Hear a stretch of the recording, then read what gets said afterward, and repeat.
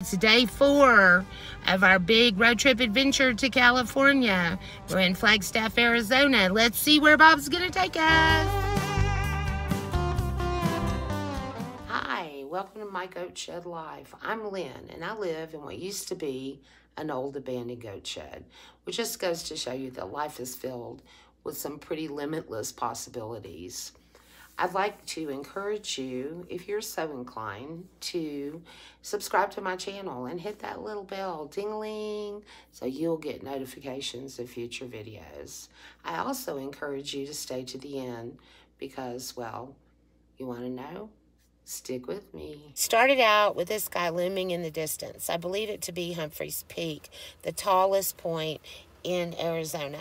And we headed off to find the Navajo Nation in the Painted Desert. Not too far down the road, we found the turnoff for the National Monument.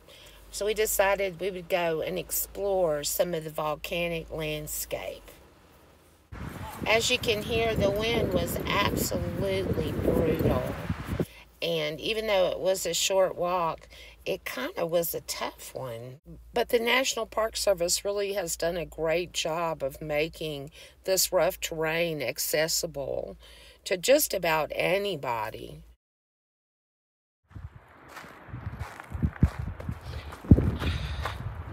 Oops. The forces of nature really are a sight to behold.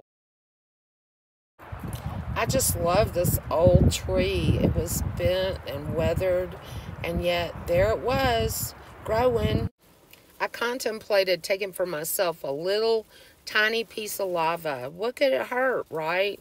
But if everybody did that, there wouldn't be anything left. This map points out the three volcanoes in the distance. And here are the San Francisco peaks. And pictured here is Elden Mountain. Something that we really need to be conscious of is that we're in higher elevations than what we're accustomed to. And also it's very dry here. It's really windy today. It's really dry here, so it's important to stay hydrated. Elevation sickness is a real thing. We're heading north up 89, coming out of Flagstaff. I think the next town up is Cameron, going up through the Navajo Nation in search of the Painted Desert. And there it is. That's the Painted Desert. Bob kept insisting that was not the painted desert that he thought it was, but this is the only one that I could find on the map. I thought it was pretty and worth the trip to see it. I found this little flower that I thought was just adorable. This is the scraggly old bush it came off of. Wow. The next stop was at a pueblo and some Indian ruins that we decided we'd stop and look at. This was a place called the Citadel, and there was something of a hike involved. And of course, it was uphill. It was super windy, but fortunately, the wind was blowing us back toward the hill instead of off of it. Did I mention I'm afraid of heights? I was really impressed with that canyon over there. Ah, finally, we made it to the top. Yay!